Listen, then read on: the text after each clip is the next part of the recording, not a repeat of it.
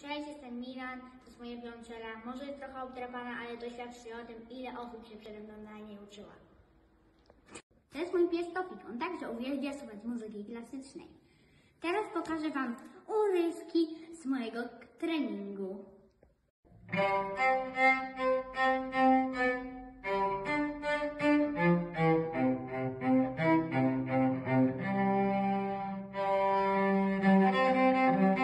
Thank you.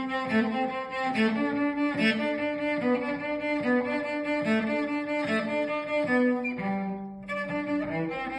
you.